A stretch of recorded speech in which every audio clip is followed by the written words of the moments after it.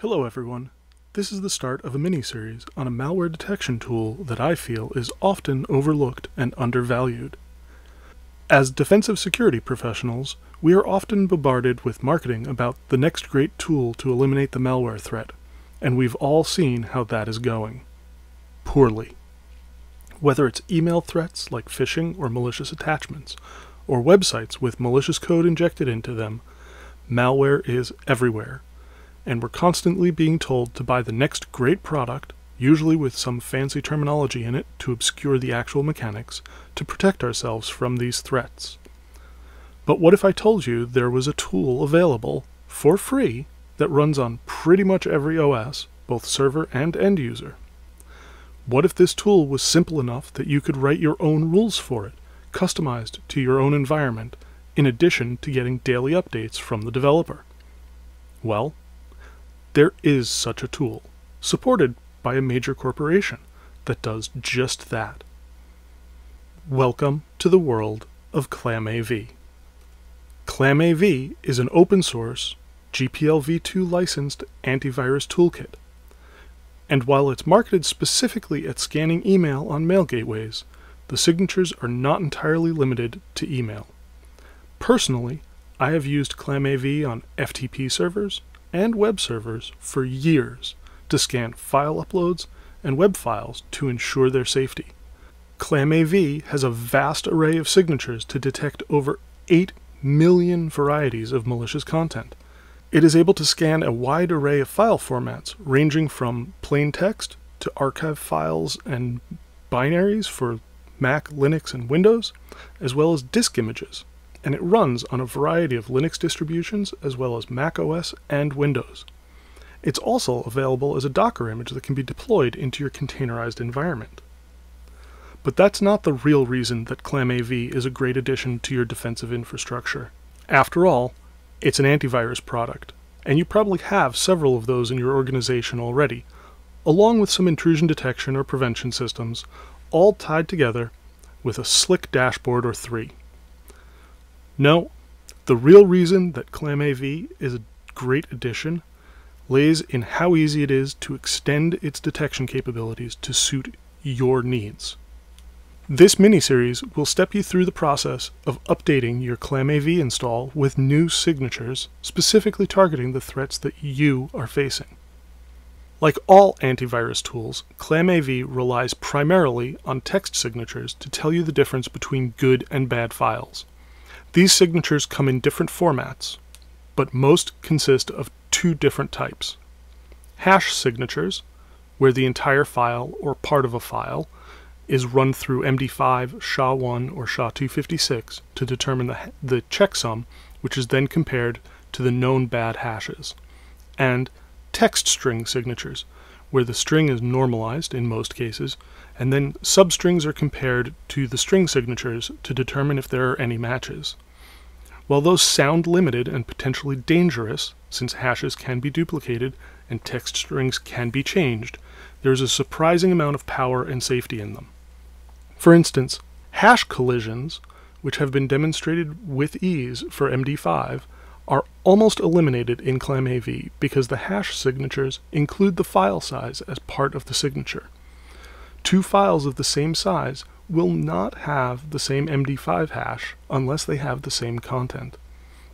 On the other hand, text string signatures may seem limited until you understand that ClamAV allows for a number of powerful expressions to be incorporated in the signature to make it more flexible and there are multiple ways in which strings can be used to build signatures ranging from a single string to a wildcard expression to combinations of substrings to Yara rules.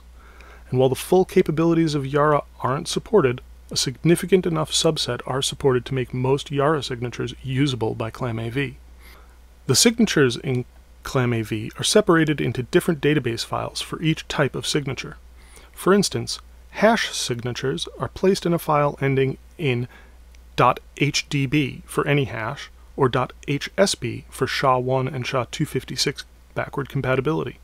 Meanwhile, basic text signatures are placed in a file ending in .ndb and logical text signatures are placed in a file ending in .ldb, while Yara signatures go in a .yar or .yara file.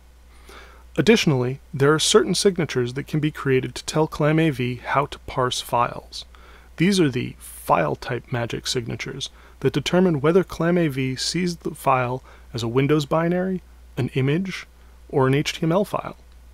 You can define your file type magic signatures to change ClamAV's behavior as well. And because these are all separate files, it is easy to run separate ClamAV instances with different databases for different purposes, or to add third-party signatures to your instance. Do you want to add more aggressive email signatures to your environment? Just start downloading the signatures from SaneSecurity or from SecuriteInfo. Do you want to have an instance that's more aggressive on Linux systems? Add in the signatures from the Linux Malware Detection Project. Want to add your own? Well, that's what the videos in this series aim to teach you. We will get into all of these as the series progresses. If you're interested in following the series or to see when I put out other videos, hit the subscribe button. But for now, let's take a look at what ClamAV does to the files that it scans. The first thing that ClamAV does during a file scan is attempt to determine what kind of file it's looking at. This is done via the file type magic signatures and what you've set the configuration options to. If you've enabled Scan Archive, for instance, ClamAV will open the archive and scan the individual files within.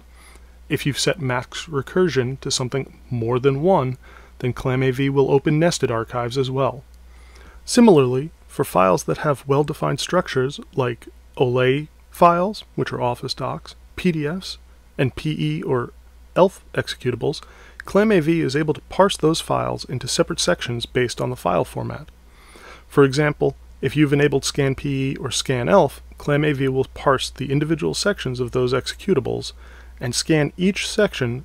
Additionally, ClamAV is able to scan the PE executables to see if their code signing certificates assuming it's a signed binary, has been revoked. Without those options enabled, ClamAV will still scan the file, but without the file format parsing that's built into it, which means that some signatures might not match if the offsets don't work on the unprocessed file. For instance, if there's a signature that looks for malicious strings in the first 100 bytes of a PE section, and the file isn't detected as a PE file, that signature probably won't work. Additionally, ClamAV is able to parse document file formats such as Shockwave, PDF, and Microsoft Office docs to scan the individual component files of those documents. Lastly, for ASCII files, both HTML and non-HTML, ClamAV will perform normalization, which is the process of minimizing whitespace and converting all the characters to lowercase in order to give them a consistent structure before scanning them.